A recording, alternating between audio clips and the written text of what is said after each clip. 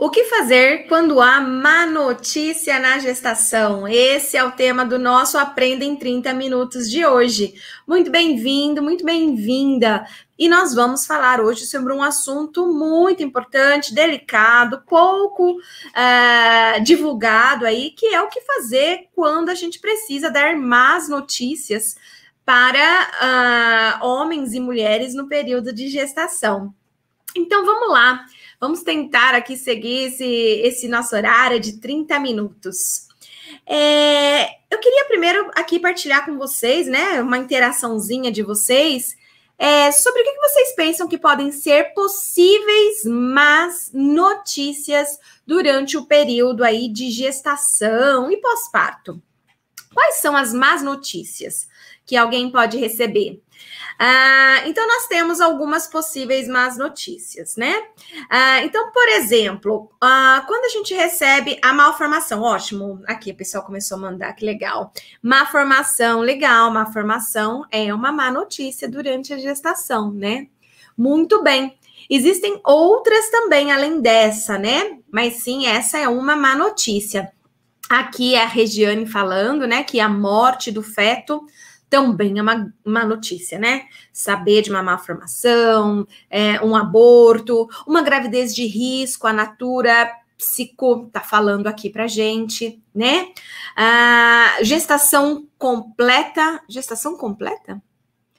A Ana Freitas, morte de pessoas importantes, principalmente nessa pandemia, muito bom, Ana Freitas, né? Então, principalmente nessa pandemia, que a maioria de nós já perdemos, alguém que a gente conhece, né? Já morreu, é, pessoas que conhecemos ou pessoas muito próximas a nós, né? Eu mesma tive duas perdas muito, muito próximas, né? Pessoas que eu gosto muito aqui durante essa pandemia. A, a Sarina, doenças hereditárias, anemia, falciforme. Eu descobri que eu e meu esposo temos traço.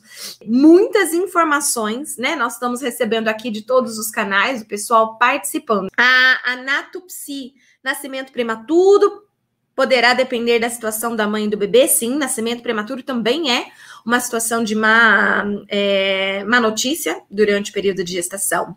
E por aí vai, né, pessoal? Risco de aborto, sim, também, né? A mãe positiva para Covid, muito, isso mesmo, Natália. Então, são várias. A gente poderia ficar aqui a live inteirinha, né, só falando é, de diabetes, aqui o pessoal falando, né? Muitas más notícias. Então, nós vamos trabalhar aqui de forma genérica, tá bom? É, porque, como vocês viram, são várias as possíveis más notícias durante o período perinatal, né? E que é, com certeza a gente ficaria aqui a, aos 30 minutos só pensando em más notícias que poderiam existir, né? Porque são várias. Então, interessante que vocês levantaram alguns pontos. Certo. E, e, por que, que essas informações elas são más notícias, pessoal? Vamos pensar agora aqui, né? Por que, que um aborto é uma má notícia, um, um, um, uma má formação, né? É uma má notícia, as doenças que podem acontecer, né? Covid, diabetes, pressão alta, é, sexo do bebê, né? Pode ser uma má notícia durante a gestação também, a prematuridade e tudo mais que vocês trouxeram aqui, né? É, por que, que é, essas são más notícias? Porque existe um, uma idealização sobre a gestação e sobre o pós-parto, e existe a gestação e o pós-parto real, tá? Então a gente aqui vai falar, olha só, de, de dois pontos. Ela é uma má notícia porque ela não corresponde àquilo que foi idealizado tá? Então, a gestação, o parto, o pós-parto, o bebê, a maternidade são fatos idealizados pelas mulheres, pelos homens. Então, a gente fantasia coisas, né, a respeito desses momentos. Então, a, a idealização, ela não corresponde à verdade, na maioria do, do, dos casos, tá? Aí de, desse período perinatal. Então, na maioria dos casos, a idealização, a fantasia não representa de fato a realidade. Então, nós vamos ter sempre a maternidade idealizada e a maternidade real, ou como queiram chamar, parentalidade idealizada, parentalidade real, tá? A real, então, quando vem a real, que, que ela vem com, com todas essas informações, né? Que a gente. São várias outras que podem vir aí. Uh, até uma gestação não planejada, né? Quando você descobre a gestação, ela mesma é uma má notícia, né? O próprio fato de você saber que está grávida, para muitas mulheres, pode ser uma má notícia na gestação, né?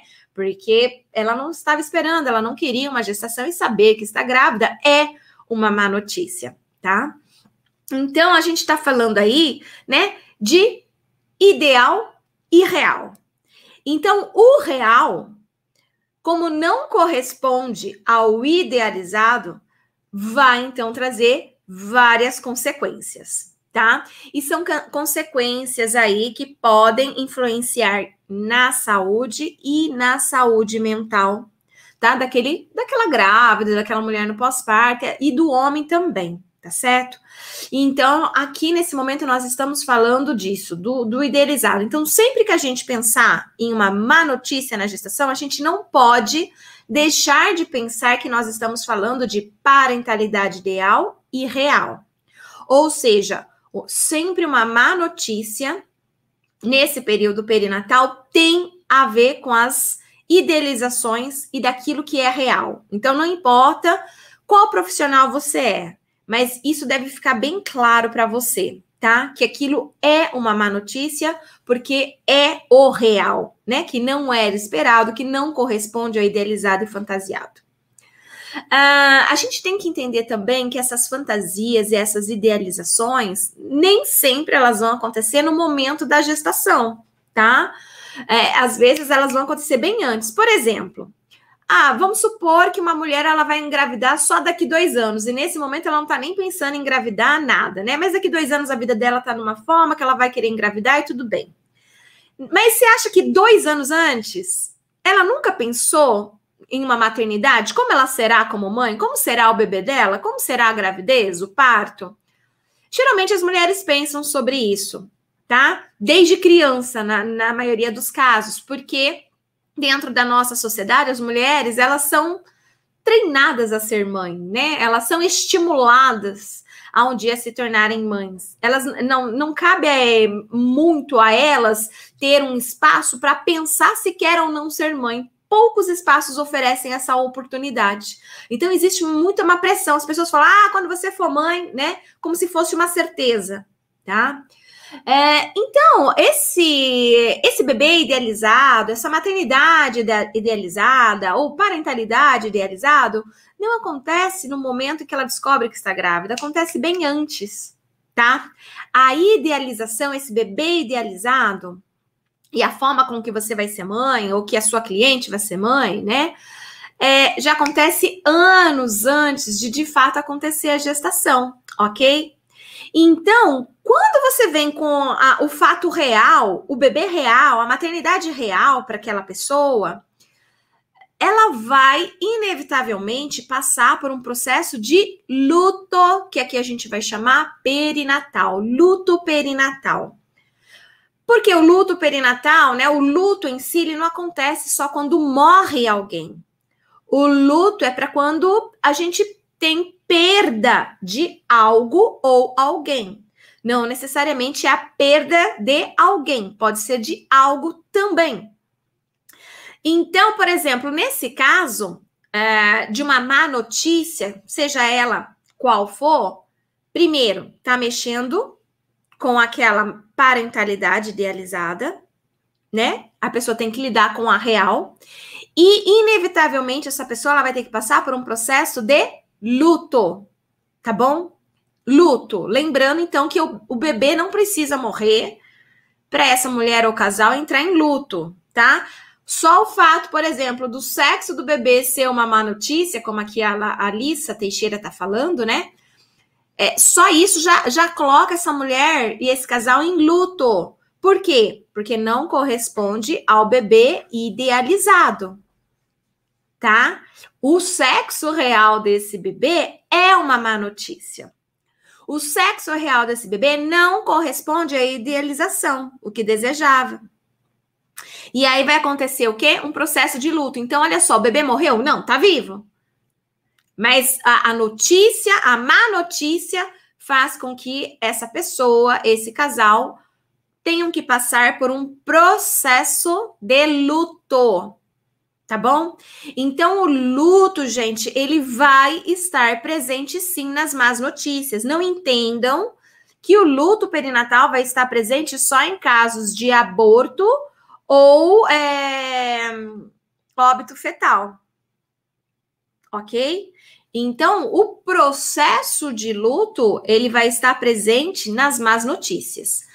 Se a mulher descobriu que o bebê tem alguma anomalia, uma má formação, uma deficiência, isso vai sim, né, mexer com aquela ideia que ela tinha criado, que ele, que o pai também tinha criado a respeito daquele bebê. E sim, vai acontecer todo aquele processo de luto mesmo, sabe? Primeiro eu vou negar, vou querer a opinião de outros profissionais, vou fazer novos exames. Depois vou ficar com raiva daquilo que está acontecendo, porque comigo isso é um castigo. A pessoa começa a se culpar, ela tenta encontrar comportamentos que ela teve para aquilo, então ela tenta se culpar, né?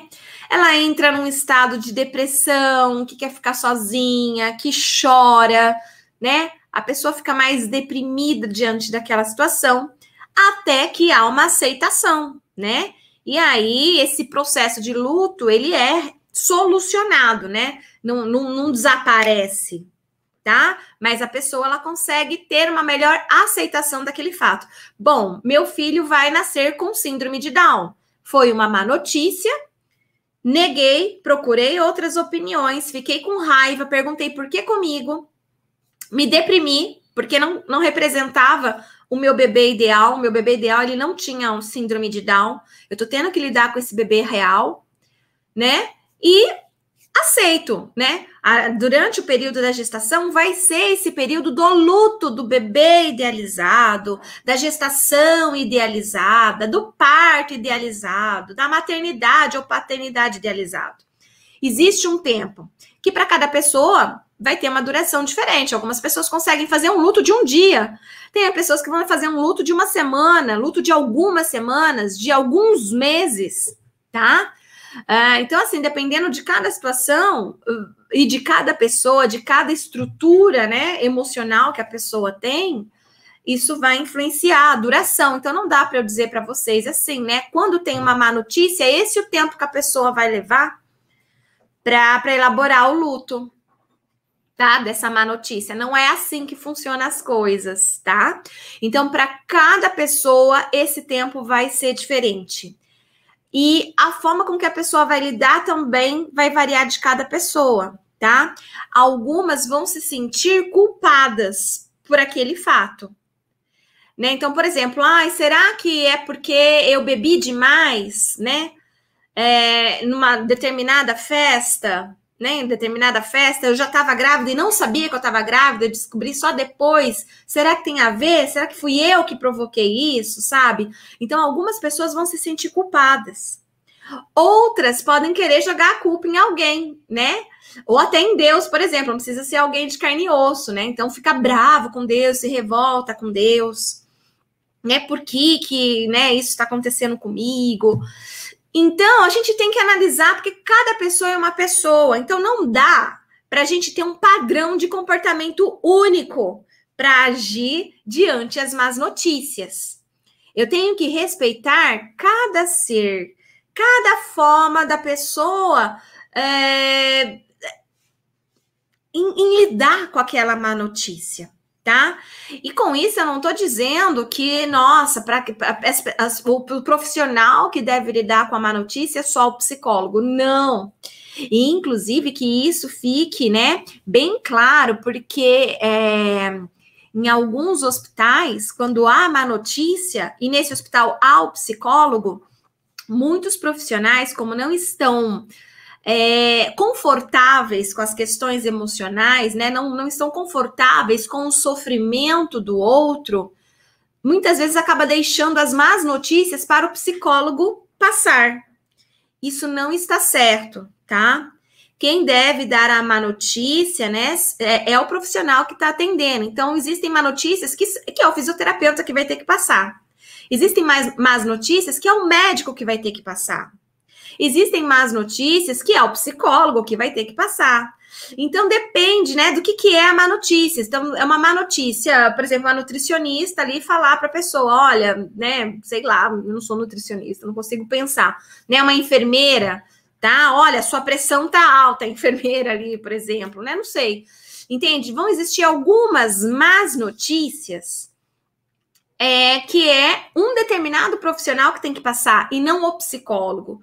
O que eu ando percebendo é que em alguns espaços, como esses profissionais, fisioterapeutas, é, enfermeiros, obstetras, não tem essa habilidade com as emoções, de lidar com as emoções do outro, muitas vezes eles acabam delegando a função para um psicólogo, tá? Então, assim, o, o, profissional que recebeu o diagnóstico, então tá lá o diagnóstico no nome dele, né? Então, ele que vai dar o diagnóstico, é ele quem tem que dar a má notícia. O psicólogo, ele vem depois, tá? A não ser que for um laudo, então é o próprio psicólogo que tem que dar aquele laudo, né, psicológico e tudo mais. Mas fora isso, tá?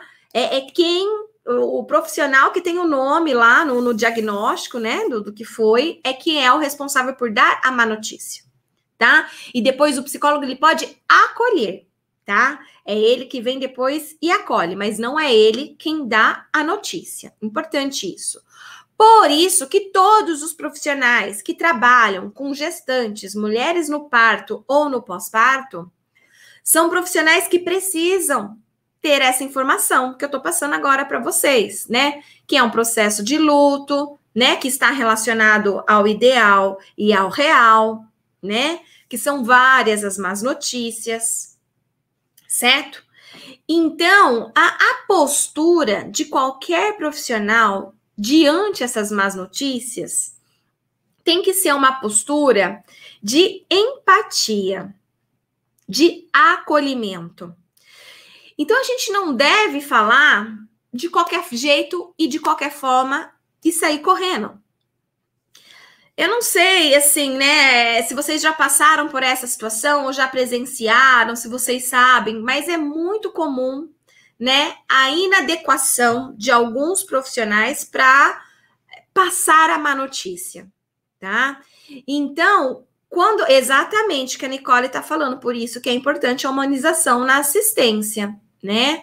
Porque se nós não temos essa humanização, esses profissionais mais humanizados, né, na assistência perinatal, infelizmente, a gente pode agravar aquela má notícia, potencializando ela, né? Na forma com que a gente vai lidar, na forma com que a gente vai tratar aquela pessoa. Então, por exemplo, pode existir um óbito fetal e o obstetra simplesmente falar: é, o bebê morreu, tá? Agora vocês precisam ir falar com a assistente social, né, para ver se, né, se quiser tem psicóloga também aí, licença. E sai, e sai da sala e deixa o casal ali com aquela informação desse jeito, né? É, e não tem nada de humanizado, não tem nada de acolhimento, não tem nada de empatia. Isso não é legal. O, o, o casal tá em choque, o casal não sabe o que fazer, o casal é, se culpa, o casal culpa outras pessoas né? Não não estava sendo esperado aquela informação. É, piora a situação se o casal não queria gravidez, mas, né, chegou a um ponto que, ah, estamos grávidos, não tem que fazer, vamos aceitar. E aí começa a achar que é castigo de Deus, né? Que foi castigado porque no começo não queria. Percebe? Gente, são N os fatores, não é um fator, não é uma linearidade, ó. Má notícia, faça isso para acontecer aquilo. Não é assim. Pessoas são diferentes de objetos, de máquinas, né? Que tem essa linealidade. Você aperta aqui acontece ali, né? Pessoas são bem complexas, são bem subjetivas, são bem instáveis. Então, uma má notícia pode ser recebida de diferentes formas, tá? Então nós precisamos estar prontos para aquele casal que vai chorar. Precisamos estar pronto para aquele casal que vai brigar com você, como se você fosse o culpado, você profissional fosse o culpado. Entenda, naquele momento é uma reação emocional, não é que ele está te agredindo de fato. Alguns profissionais, diante de situações como essa, eles muitas vezes ficam na defensiva e brigam com, com o próprio paciente que está recebendo aquela má notícia.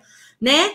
Muitas vezes ele está despreparado, ele não consegue entender que muitas vezes aquela reação que o casal tem diante aquela má notícia é uma agressividade, mas depois aquele casal vai pedir desculpa, ele vai falar: olha, foi a reação que eu tive na hora. Eh, o casal sabe? Então, o profissional que está ali dando aquela má notícia, ele tem que saber isso, que isso pode ser uma reação esperada. A raiva, gente, ela faz parte do processo de luto, tá? Então, não precisa vir a negação primeiro, a raiva pode vir primeiro, tá? Então, e ali nós vamos ser alvos, então, de uma descarga emocional negativa daquela pessoa, o casal, e nós precisamos, enquanto profissionais da saúde, estar pronto para receber aquela carga negativa, porque a notícia é pesada, né? É, é uma notícia que é, não, não os pais não estão preparados para receber, tá? Então, não, não, não tome para você né? Como sendo uma afronta, como sendo uma chamada para briga, tá? Devolva, inclusive, falando. Eu entendo, né? O que, que você está passando nesse momento, a raiva que você está sentindo. Realmente não é uma notícia fácil de digerir. Eu entendo que você está tentando achar culpados, mas nós precisamos agora conversar mais sobre esse assunto. Percebe? Isso pode ser uma fala, inclusive, terapêutica tá? Porque causa efeito na pessoa. A pessoa lá, né? Ela entende o que está acontecendo. Você nomeia aquilo. Aquilo é um sentimento de raiva, né? Então, assim, é, você nomeia o que está acontecendo para aquela pessoa. Você não, não vai brigar com ela, por exemplo, né? E, e mais, esse, esse efeito terapêutico não significa que você está fazendo terapia, tá? Ações com efeito terapêutico não é sinônimo de terapia, tá? Terapia é uma coisa, efeito terapêutico é outro, tá? Um acolhimento que aconteça por parte de qualquer profissional da saúde, do, do, do profissional que vai atender esse casal, né, ou essa pessoa, esse acolhimento, essa empatia, essa humanização tem efeito terapêutico. Percebe? Não necessariamente você precisa acreditar que para ter efeito terapêutico a pessoa tem que fazer psicoterapia, tá? Só esse acolhimento, essa empatia, esse respeito pela dor do outro, pelo momento e pelas reações que o outro tem diante aquela má notícia, é terapêutico. Tá certo? Não precisa ter diploma de nível superior para ter empatia, para oferecer um acolhimento, para respeitar o próximo, tá? Não precisa ter diploma de graduação para essas três coisas: acolhimento, respeito e empatia. Não, não precisa. Basta você ser ser um humano, né? Mais ético, né? Que né, depende muito, né, do, do ser humano que é você, tá? Então, assim, não é necessário ter um diploma para isso. Portanto, não é papel de um profissional, né, oferecer acolhimento e empatia. É papel de todos os profissionais que vão estar tá lidando ali com essa situação de má notícia. Mas também é papel desses profissionais mesmo, né, é, tendo esse comportamento terapêutico, oferecer terapia para o cliente, dizer para ele: olha, eu sou enfermeira e aqui no hospital tem uma psicóloga, tá? Você fique à vontade. O próprio psicólogo, ele vai receber as informações e depois que já foi passado a informação, o psicólogo pode se apresentar. Meu nome é X, Eu sou psicólogo aqui. Se você quiser conversar comigo, estou disponível para você. O fato é que quem vai decidir se vai ou não conversar com o psicólogo é o, o cliente, o paciente. É ele quem vai decidir. Então, se você é um obstetra, se você é um enfermeiro, você oferece acolhimento, você oferece empatia, você oferece respeito. Mas não se esqueça também de falar que existe um psicólogo, se, se principalmente existir ali no hospital, né? Que existe um psicólogo que ele pode conversar, que, que a equipe, né? Ali já já passou a informação para o psicólogo, o psicólogo já sabe sobre o caso, que eles podem procurar por esse profissional, se eles quiserem. O problema também está quando a gente obriga aquele casal, aquela pessoa procurar pelo psicólogo. Isso também é um problema quando a gente obriga. Tá bom? Então, o enfermeiro, não, você precisa passar pelo psicólogo agora. Não é protocolo aqui. Você recebeu essa má notícia, então agora você tem que ir para o psicólogo. E a pessoa não quer. A pessoa, às vezes, ela quer ficar sozinha.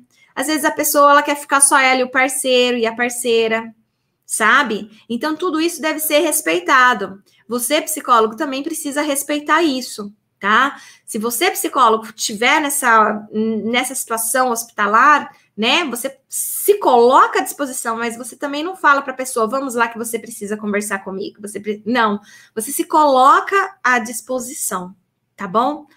E aí, quem vai ter essa decisão, quem vai decidir, né, é, é a própria pessoa, se deseja ou não. Ok, pessoal? Ah, falas como foi melhor assim, melhor agora do que antes, Deus quis assim, logo, logo você esquece, logo, logo isso passa. Não são falas que uh, um profissional da saúde deve, deve falar, né, quando há uma má notícia na gestação, tá? Infelizmente, também diante essa má notícia, muitos, muitos profissionais, pela dificuldade de ter empatia, de se colocar no lugar do outro, chega, dá a notícia e bate nas costas falando: olha, mas Deus quis assim, né? Não fica triste, não. Tem profissional que infelizmente age assim, porque na realidade ele tá perdido também, né? Ele não sabe muito bem o que fazer. Não é que o profissional também é mal, ele é, sabe? Não é isso. Ele também não sabe muito bem o que fazer, não recebeu orientação, não assistiu essa live, não é verdade? Você que está assistindo essa live não vai fazer mais isso, né? Espero eu.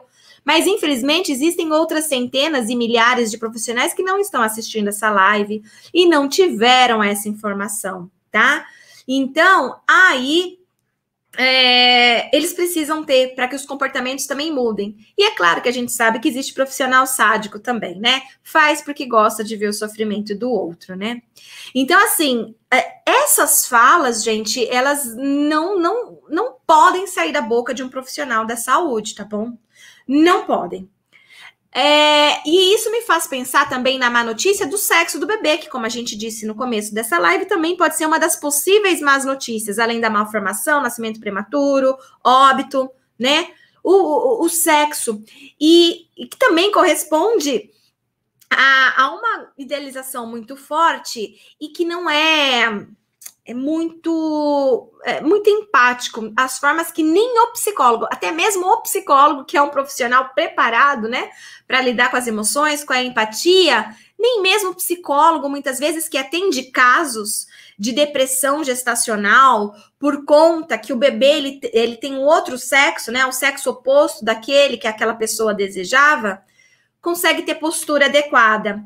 Porque é, tem muitos profissionais da saúde, eles pensam assim, nossa, mas é só um sexo, né? Ai, menina, menina, tá com depressão por causa disso?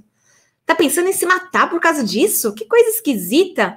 Para, logo, logo você se vincula com esse bebê, imagina, para, né? Você não pode sentir isso, né? Ah, vai passar para o bebê, o bebê vai sentir que você está sentindo isso, Deus castiga. Né? Infelizmente, nós temos isso, né? Esse tipo de pensamento, porque há um, é, é como se fosse hierarquia, né? É, é, eu que não estou na pele de quem sofre hierarquizo a dor do outro. Bom, se é uma, uma perda fetal, nossa, é uma dor incrível, né? Se é uma má formação fetal, ah, a dor não é tanta, né? A pessoa consegue aguentar, é uma dorzinha, né? Ah, descobriu uma diabetes? Ah, é uma dor, mas é uma, uma dor, né? Da, da, né? Ah, é sexo do bebê? Ah, não, isso aí, não, imagina. Quem sou eu para julgar a dor do outro? Quem sou eu para julgar o sofrimento do outro? Infelizmente, nós fazemos isso enquanto profissionais. A gente coloca numa hierarquia o nível de dor. E se a pessoa aqui na, na minha cabeça, né, é uma dor que tá aqui, a pessoa tá fazendo assim, na minha cabeça, tipo, não, foi melhor assim, fica assim, não, né? Logo, logo passa. Aí eu começo a usar essas falas inadequadas. Por quê? Porque eu não estou na pele do outro, eu não tive empatia pelo outro, eu não consegui me colocar no lugar do outro. Percebe? Então, nós precisamos cuidar melhor, né? É, dessa hierarquia que eu mesma faço em relação ao sofrimento do outro.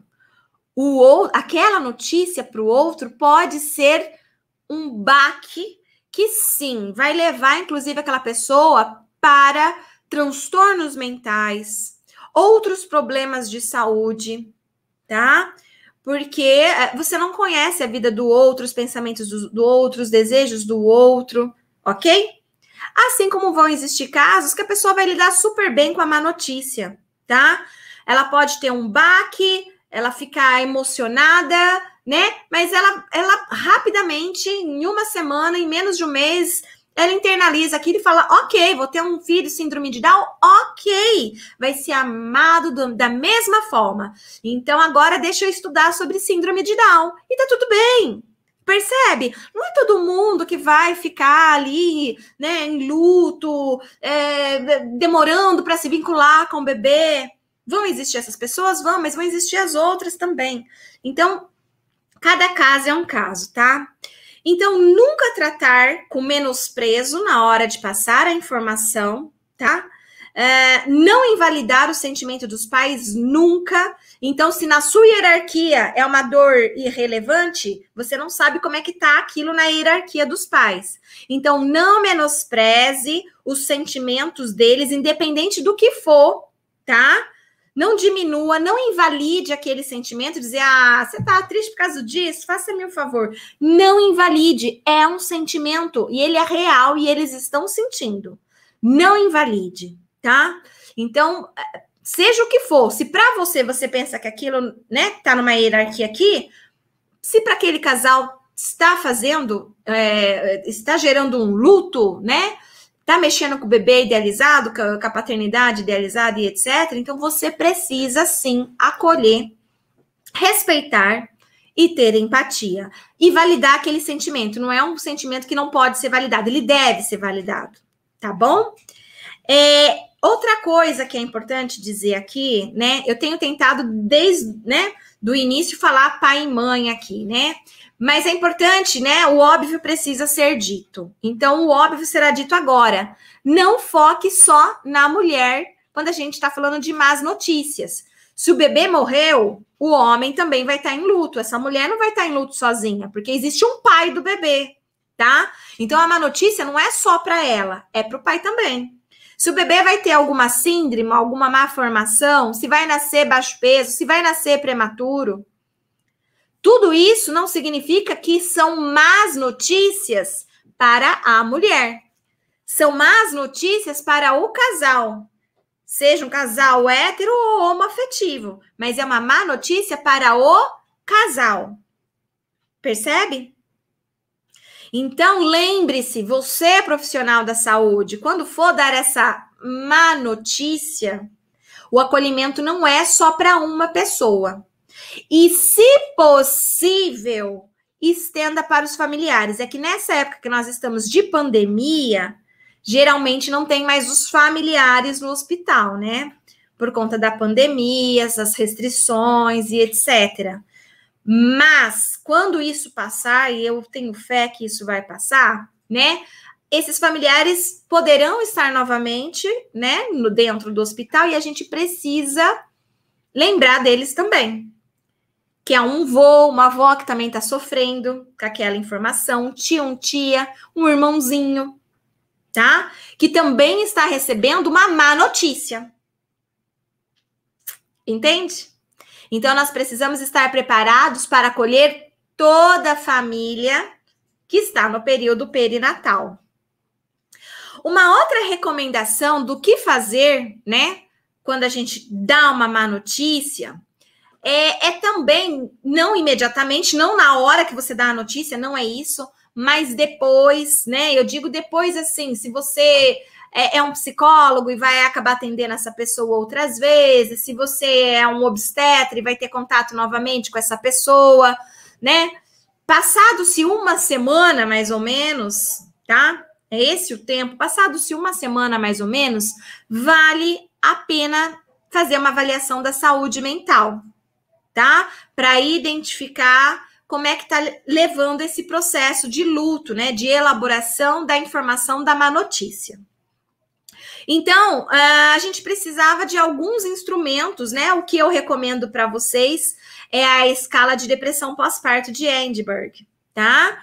Uh, não diagnostica depressão, mas sintomas de depressão, tá? Então, passado uma semana, seria interessante fazer uma avaliação da saúde mental. Até porque, se der um, uma pontuação muito alta, muito elevada, já é indicação que aquela pessoa sim precisa passar por um psicólogo, de preferência perinatal. Tá? Porque a gente está falando de um momento perinatal, então o melhor profissional que a gente recomenda é o psicólogo perinatal para lidar então com essa situação, ou até mesmo um psiquiatra, tá certo?